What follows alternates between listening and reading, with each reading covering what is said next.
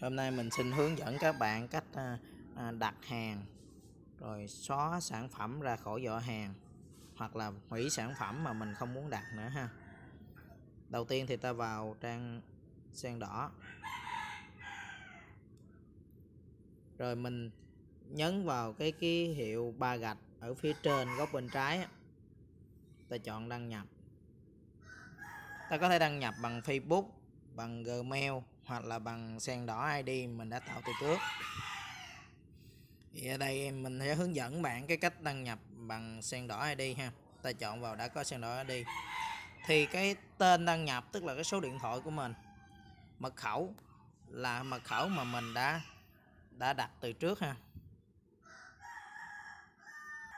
Sau khi mình à, ghi xong mật khẩu thì mình bấm chữ xong là sẽ đăng nhập vào trang à, sen đỏ ha thì mình muốn mua sản phẩm trên shop map trứng HPE thì mình chỉ cần đánh là máy ấp trứng HPE như vậy thì ta thấy là cái shop máy ấp trứng HPE hiện lên ở phía trên đầu ha ta chọn vào máy ấp trứng HPE thì ta xem qua thì ta thấy shop này là một số uy tín với điểm uy tín là 106 điểm với điểm đánh giá là 4,9 trên 5 điểm ha tổng cộng có 121 lượt đánh giá có 81 sản phẩm và 76 lượt yêu thích. Thì ta có thể xem sơ lược qua các sản phẩm mà ở ở shop máy trứng này bán ha.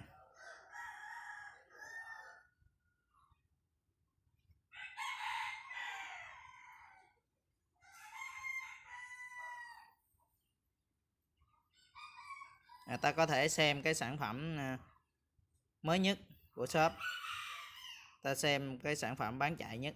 Thì ở đây ta thấy cái sản phẩm bán chạy nhất là máng uống tự động, tê nối cho gà con, gà lớn ha.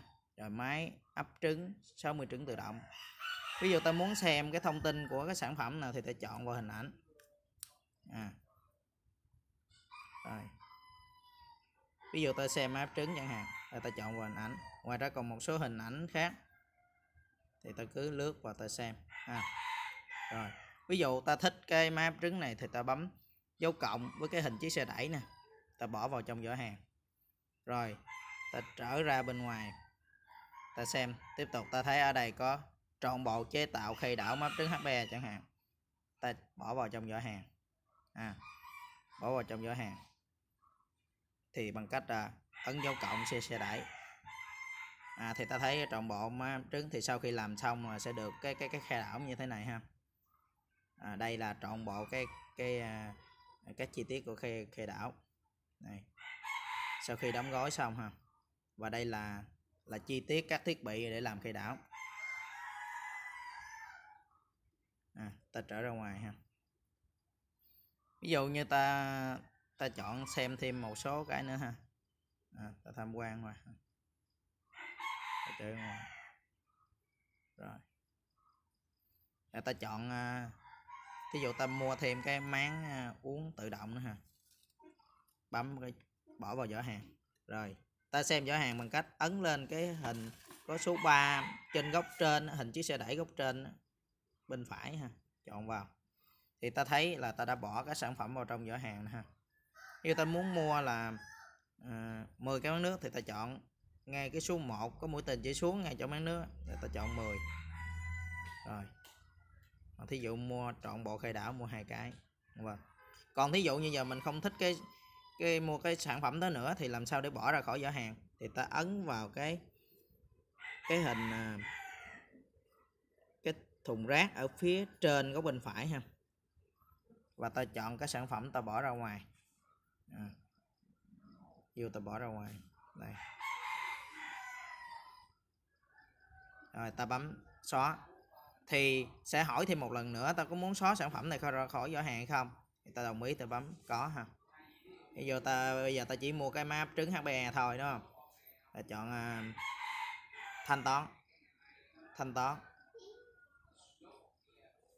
Thanh toán thì à, vì vì ta đã mua qua một lần thì cái thông tin à, địa chỉ số điện thoại của mình thì cũng đã được lưu ha.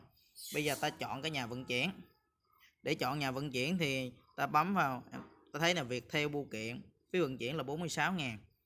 Này ta có thể tham khảo thêm xem phí vận chuyển có rẻ hơn hay không ta chọn ngay cái mũi tên đó thì ta thấy đây, phí vận chuyển chuyển phát nhanh của giao hàng nhanh là mẫu 2 ngàn là 199 ngàn. Việc theo chuyển phát nhanh là 56 ngày 151 ngàn. Và cái phí rẻ nhất ở đây là việc theo chuyển phát bưu kiện 46 ngàn ha. Thì ta chọn ta chọn cái việc theo chuyển phát bưu kiện, bấm chọn. Rồi, bấm chọn xong rồi ta chọn hình thức thanh toán ha thanh toán khi nhận hàng tức là nhận hàng sau đó trả tiền luôn thì ta sẽ tốn thêm 14.000 tiền phí thu hộ nữa. Còn thí dụ ta chọn thanh toán trực tuyến thì thanh toán trực tuyến này ta có thể là thanh toán bằng cái ví xem bay của mình hoặc bằng thẻ ngân hàng ha.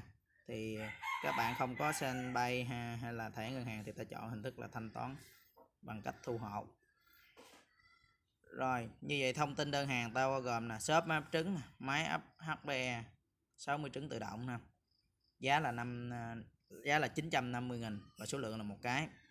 Cái phí vận chuyển là tổng cộng là 82 ngàn ha, phí COD là 14 ngàn và sen đỏ hỗ trợ 50 ngàn như vậy ta chỉ thanh toán là phí vận chuyển chỉ còn là 46 ngàn thôi, tức là tiền máy 950 ngàn và phí vận chuyển về tới tận nhà ta luôn là 46 ngàn và ta có thể ghi chú là ví dụ như là ta yêu cầu bên vận chuyển là gọi gọi trước 15 phút khi giao hàng chẳng hạn ví dụ như vậy.